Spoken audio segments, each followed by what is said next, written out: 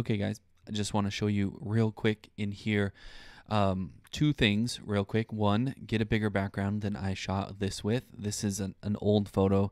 This is when I was very first getting started in photography. Like I had owned a camera for maybe six weeks at this time, maybe two months. I don't know, not very long.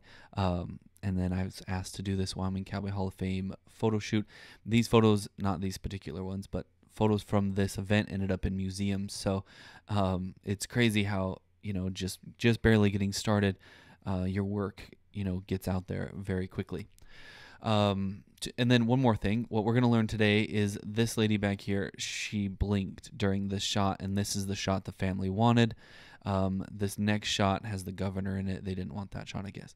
So this is the one with her eyes open, and uh, we're going to take her eyes from this one and put them into this frame here. So let's select both of these, right click. I just held shift and select both, but you can command or shift or whatever. Select both, edit in and do Photoshop.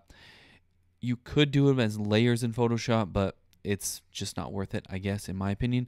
It's easier for this example, what we're doing now, to just do edit in Photoshop. So just click that Okay, now they've both opened in Photoshop. You can see this one is with the eyes uh, open and this one here is with the eyes closed. So we want to start here in the eyes closed, open up a new layer, switch to your stamp tool, which is S for stamp if you are into using keyboard shortcuts. And then we're going to use the left bracket to make it much, much, much smaller, approximately the size of our eyeballs here. We just need a tiny little thing. So we are going to hit Command plus or Control if you're on a PC. Zoom in here. We want to get really close. Um, it's Option or Alt on a. So it's Option. Hold Option on your Mac or Alt on a PC, and then that changes to this little bullseye looking thing. So what we're gonna do is we just want to pick on something that's, you know, what we're gonna remember. That's easily seen in both photographs. So I usually start with like the point of a eyebrow. So we're going to click right there once and then we're going to go into the other photo. We're going to do the same thing. We're going to command plus zoom zoom zoom. Hold if you hold space bar, you can it changes to your hand tool here and you can just grab and drag around. Now, you can see a little preview of that eyebrow in the dead center of my little brush tool here. So we're just going to line it up till it lines up perfectly right there. Click, and now we can paint. And now we just paint these eyeballs open, and you can see these are way too big for her for her head here because I had zoomed in a little bit on the other shot. It helps if you, you know, are perfect and you don't, you know, zoom in and out on your on your different shots. But this is, we're just going to paint a little bit extra because it's easier to get rid of it than it is to go back and try to add it again. So we're just going to add a little extra room here that we're going to work. So we have some room to work with here. We've got some pixels. We're bringing them all over and just go over and over and over. Make sure that they're all there. And then we I can just show you we'll hide that layer underneath. So these are the pixels that we've brought over from the other one. There's other ways to do this. This is just the simplest, easiest, and gets you accurate. So if she hadn't turned her head, if she hadn't done anything and I hadn't zoomed in, this would have just been perfect. We would have been done, but that's not the case. Uh, especially when you're new and you don't expect to be doing this, like it's just not doesn't work out. But we're just gonna.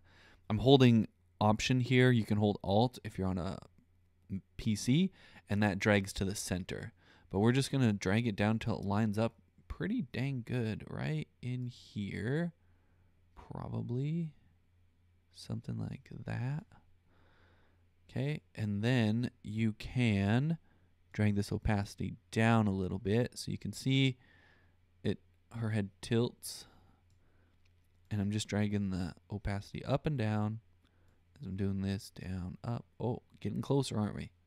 Getting closer. Eyebrows raised a little bit. Eyes are a little bit too big still just bring them down. There we go. And we're just bringing that opacity up and down so we can see the movement, see the change. This is pretty close. I think that would, we could sell that look, couldn't we? Mm-hmm. Okay, we're, we're right there. We're close. Just move them down just a little bit. There we go. Okay, now we got the blinkies going. All right. That looks more real. Okay, and now we're going to hit enter to accept that transformation change. And then just go down here, click this um, this button down here is for a layer mask. We're going to add a layer mask. You can see it's white now, so nothing's changed. Make sure you have um, black as your top layer here. Uh, go to brush, and we just hit B on the keyboard for brush. And I just want to make sure I have a soft round brush. This is one of the few times that you'll find that I use a soft round brush. And we're just going to paint away the things we don't want here. So we're just going through here, painting, painting, and uh, you know, we're painting up here, painting this way.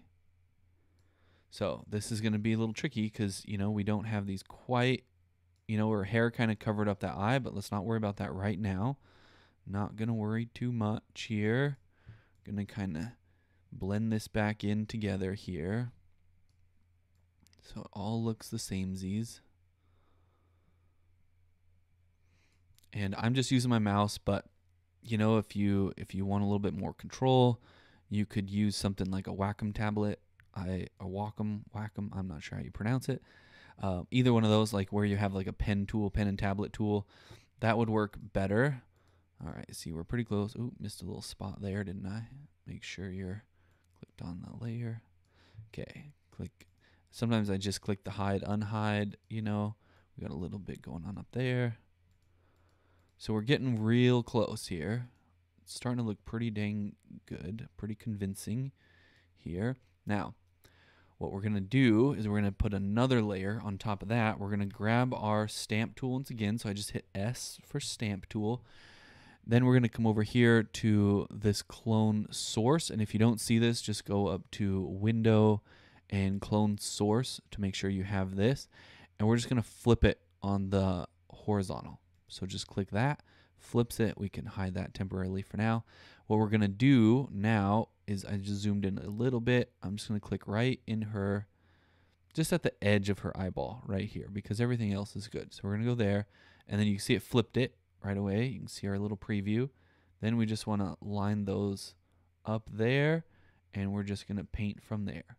And that's how we get the other side of her eyeball. And this is why we did it in a different layer because you can still see a little bit here um, where it's a little bit darker than the rest. So you see I'll flip that back and forth. A little bit darker than it needed to be because the other side, this side's a little bit darker than that side was. So that's one why one of the reasons why we're going to do it on a different layer. So we're going to grab our curve tool and we're just going to click this little this creates a clipping mask cause, so that only affects the layer right below it, none of the other ones. And we're just going to raise this up just a little bit. I just grabbed kind of lower middle and then I'm going to go up here a little bit and we're just going to fiddle with this just a smidgen until it looks right.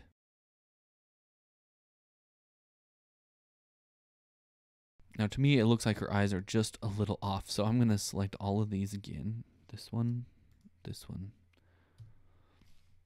I'm gonna hit Command T, and we're just gonna turn this just ever so slightly.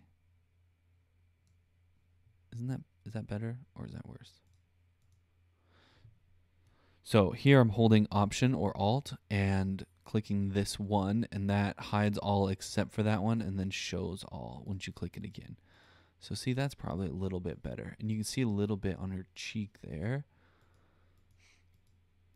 Yeah, so that's a little bit more natural. And then let's just go in here with our, on our layer mask, click the layer mask and then the brush. And I just saw where there's a little bit here and a little bit here. And then same thing here. Let's grab and add a layer mask to this and just come in here and tidy this little area up. We can go smaller here so we have a little bit more control. And we're just kind of painting that all away till it looks good.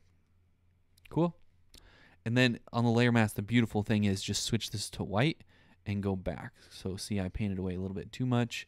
So you can just hit X on your keyboard to swap back and forth from white to black, black to white. Now, let's just hit Command or Control, Alt, um, Zero, and that lets you see the whole thing. So that zooms you all the way out to where the the whole photo fits in the frame. And now let's look at her eyes back there, just as we're way back. See, looking this far back, this is only going to be like a 16 by 20 print. So nobody's going to notice. Nobody's going to zoom in as close as we had it. But if it looks good that close, it'll look good this far away. So there you go. That's it. I just want to show you guys real quick how we fix eyeballs in Photoshop. Super easy. You guys can do this as noobs. It's or as you know seasoned professionals. Doesn't matter what level you're at this comes in handy. I do this all the time. So i just thought i'd show you real quick how that's done. And it you know it took a lot longer to explain you how to do it than it would be to just do it you know if i wasn't doing this voiceover thing. So that's it for now. Thank you guys and we'll see you in the next one